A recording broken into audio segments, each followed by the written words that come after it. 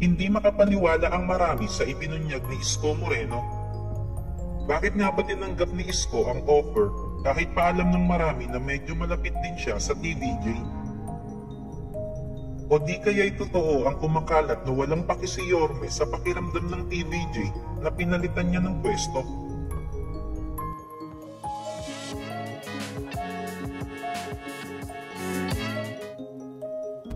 Malayong malayo daw ito sa ugali ni Kuya Kim dahil hindi tinanggap ang offer ng Take Incorporated. Dahil na rin sa respeto niya sa TVJ. Ngunit si Isko ay tinanggap ang offer pero ganito pa daw ang binitawang salita.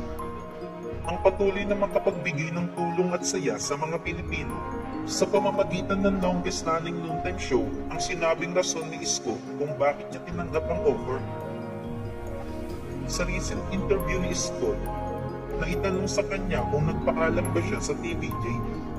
Pero aniya, hindi na daw niya kailangan pang magpaalam sa TVJ bago niya tinanggap ang project. Pero bilang respeto daw sa mga ito, nagpaabot pa rin daw siya ng mensahe sa pamamagitan ng isang common friend niya sa TVJ.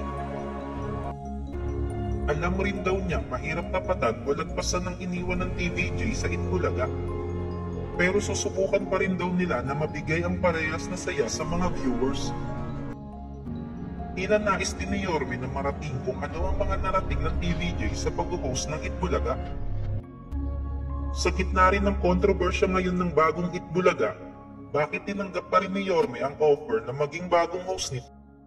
Naiintindihan daw niya kung saan nanggagaling ang pambabatikos na natatanggap ng show ngayon.